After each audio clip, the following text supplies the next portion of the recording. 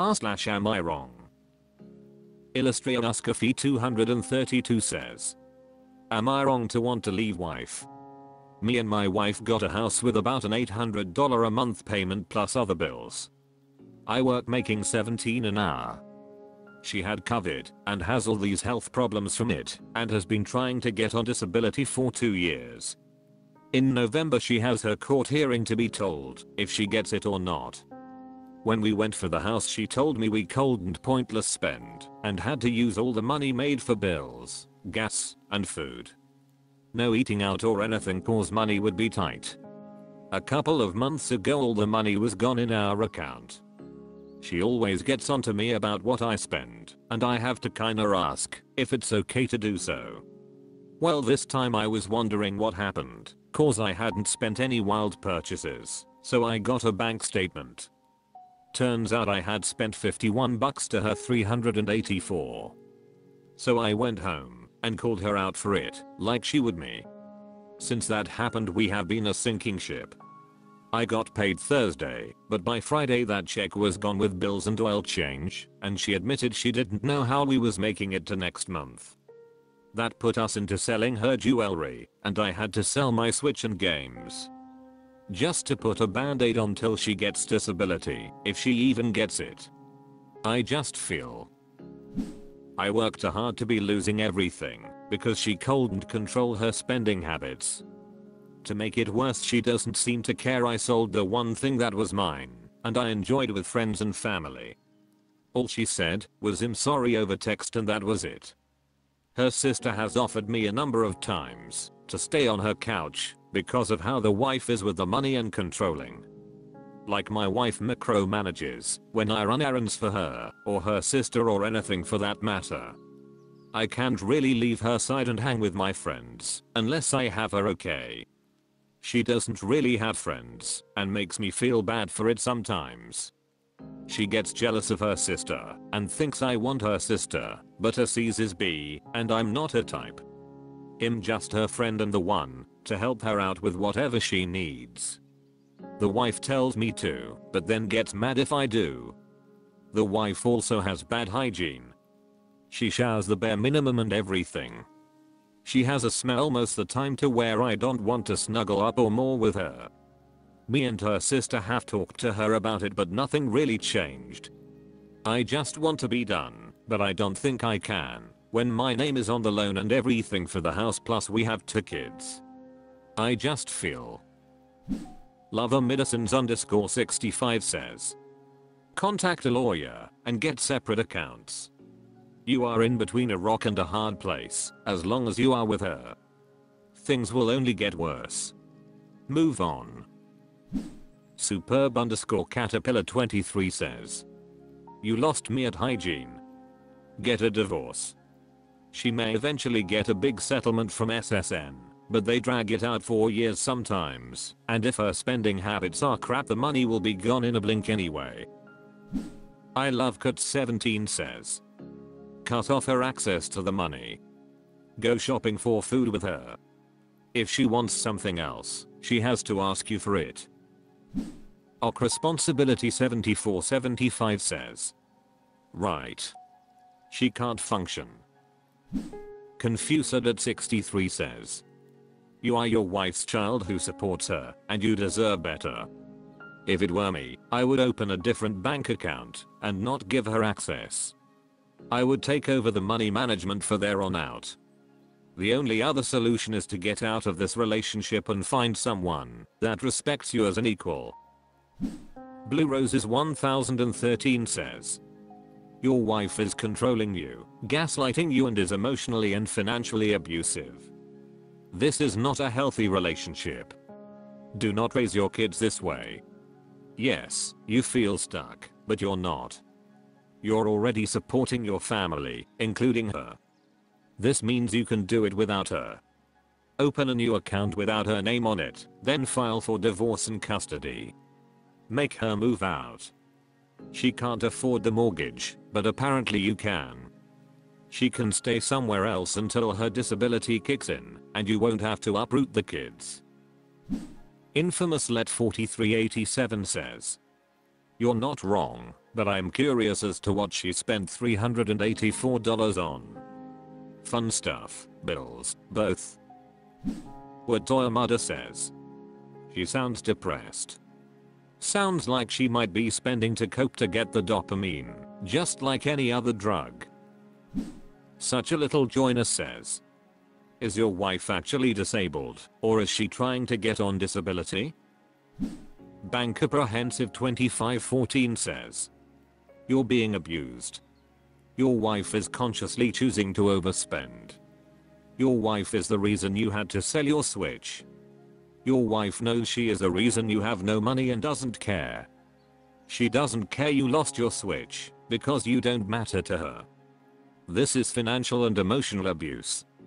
She is cutting you off from your friends and isolating you. She is unnaturally jealous of her sister and thinks you want to sleep with her. She thinks so little of you that she doesn't trust you to not to cheat she makes you responsible for her emotions, like she's a child who can't regulate them. Let's reframe this as a BF and GF to make an easier understanding. You're the GF and your wife is the BF. My BF doesn't like it when I hang out with my friends. He thinks I'll cheat with his brother. We have very little money and he knows it, but he keeps on overspending and doesn't care when I have to sell my things to make ends meet. We have no money for next month and he doesn't care. The reframing example would have everyone tell the GF to run for the hills because she's being abused. Take the money from the shared account, create an account at a new bank, and only let the money be out there. You can't deprive your wife of money for food or the house if there is no money. Your wife wants you to magically come up with it so she can take it. Go to the sister's house. Get a divorce. Dumbfounded 03 says. So she spent the money on bills and an oil change? Man Burpix says. Are you looking for better paying jobs? If the value made to your wife is worth less than $17 then you have bigger problems. California Agiril 1213 says. Just because your wife has a hearing in November doesn't mean you will get the results right away. I had my hearing and it took several weeks to get the results. They sent me a letter in the mail. It is very hard to get approved for disability. The only reason I was approved was because I have had 3 spine surgeries and I have my entire spine from C2T2 fused, an artificial knee and an artificial hip. I also take a ton of narcotic pain medication. I have a pump that put Dilaudid directly into my spinal canal on a constant drip. It's not easy to get approval, and sometimes there is a time limit on how long you can draw it. Jackson Love 3 says. Separate your bank account from the current one, open one that she has no access to, and then speak with an attorney on your options. The house can be sold, and you can split the proceeds, and go your separate ways. As far as the kids, file for full custody if she can't properly care for them, or at least 50 over 50. If you do 50 over 50, you'll most likely pay her child support though. You're not stuck, you just feel like it. Take the steps necessary to unstick yourself, nothing will change until you do, good luck. Update us. Update team. R slash am I wrong? Adriana Miller says. Am I wrong for not wanting to go to my husband's family reunion? Am I wrong for not wanting to go to my husband's family reunion? My husband and I have been married for 5 years, and he's always been close to his family. We attend all their get-togethers, and I make an effort to get to know them. But I just don't feel like I fit in. My husband's family members have inside jokes that I don't understand, and they always seem to be talking about things that I can't relate to. I'm also not a big fan of their family dynamic. They can be sarcastic and sometimes even mean-spirited towards each other, and I'm always on edge at their get-togethers. Despite all this, my husband wants me to come to their family reunions, and I always end up going. He says it's important for me to be a part of his family, and I understand that he wants to share that with me. But I just end up feeling stressed and uncomfortable, and I'd rather not put myself through it every year. Recently, my husband's cousin announced that he's getting married and he's invited us to a family reunion. I told my husband that I didn't want to go and he got really upset with me. He said that I'm not making an effort to be a part of his family and he feels like I'm rejecting them. Am I wrong for not wanting to go to my husband's family reunion? I love my husband, but being in his family is hard for me, and I don't know what to do. LH 123,456,789 says. You aren't wrong for not wanting to go, but your husband also isn't wrong for wanting you to go and be a part of his family. Ultimately, you are just going to have to compromise on the frequency and duration of visits. Fairmount 1955 says. If you aren't comfortable, that's understandable. By not going, the trade-off is you will continue to not get inside jokes and things they talk about because you opted out of possibly sharing those experiences. Flaky underscore 21872 says. Have you asked your husband to explain the inside jokes do you can understand? The sarcasm can be just how they are, can be off-putting, until you see how the target responds. If they accept, and it doesn't blow up then that's their normal. You don't have to like it of course, because your values are different. But there's benefit to being more accepted into the family by frequent attendance, unless they attack you, and you reject the sarcasm, then I'd hope hubby defends you, by telling them that's not your dynamic. Best of luck. Breetome says. It's not a lot your husband is asking of you. A day to spend with his family. It's obviously very important to him. Sometimes we have to do things that make us uncomfortable. It's part of being an adult. You grin and bear it. I've been married for 40 years, and believe me my husband has gone to things he didn't want to for me, and I did the same for him.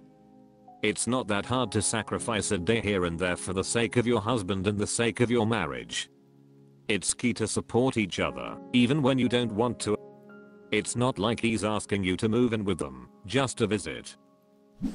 Phil Independent says. My wife is very introverted. I don't take her to my family reunions because she wouldn't enjoy it. I would feel bad for her and not enjoy it myself. She actually likes the few days of privacy. My family understands. I think your husband should respect your wishes and enjoy the reunion on his own. Wait Wutok says. Not wrong. I quit going to my wife's family events because they were boring to me. She would get mad if I wanted to leave after 4 hours at a lame dinner party where she flitted around gossiping with her cousins. To her credit, she respected my choice of not going to future get-togethers. Lily off the Valley 2659 says. Does he stay with you during these reunions, explain things to you and include you? Or does he just take off and leave you to figure it out on your own? Briddy Jib says. Can you agree some rules with DH? Like, you're never alone without him, you have a code word for, when you're ready to leave, you get to go back to the hotel, and he stays on solo, you have to stay for 2 hours minimum, you have conversations with Mill, Bill, Bride etc. When they make the weird comments, can you ask, why would you say that? Oh, I don't get it. How is it funny? I'm poorly socialized. I always have a book with me, on my phone, along with games and Reddit etc. I have no qualms about ducking out to the car or a bedroom for some quiet time. I also routinely fall asleep once the heavy drinking starts with my eyes, and they are just used to it by now. You're probably not as boorish as I'm but a little self-protection might help you feel more comfortable. Happy Go Lucky 123 says. Info how often are these get-togethers, and have you ever felt anything negative towards you? Randabando4u says. You're not wrong, but he has to understand you. I don't really enjoying to my my girlfriend's friends they are also about mean spirited and just talk about drama that doesn't pertain me or that I'm interested in whatsoever. It's just not my thing. But I go for her, and I've learned to embrace the mean spirit and just give it right back to them, and it's been fun. Also there are times where I don't want to go, and she understand why. It's a two-way street, and he has to understand as well. Castiel Fangirl 2005 says. Itta. It's one goddamn day. Suck it up and go, it seems like you're an antisocial twat wiffle. Horse dog guy says. Your position is absolutely understandable. I hate going to things like that. But you're wrong. This is something that is important to your husband. Your going makes his life a little brighter. Isn't that important to you? And you're not going to events like this will distance you from his family, and that may be okay for you, but it makes his life a little less happy. Isn't that important to you? Sometimes we go to things for our partner. A movie we know will bore us, but that our partner wants to see. An event at our partner's workplace. A BBQ at the home of our partner's friends. Or a reunion. It's just a nice thing that we do. Particularly nice if we don't make a big deal about how nice we are being, because we love our partner. The alternative is to be selfish. To treat what we want to do as being more important. The good and the bad news is that we get to pick which kind of partner we will be.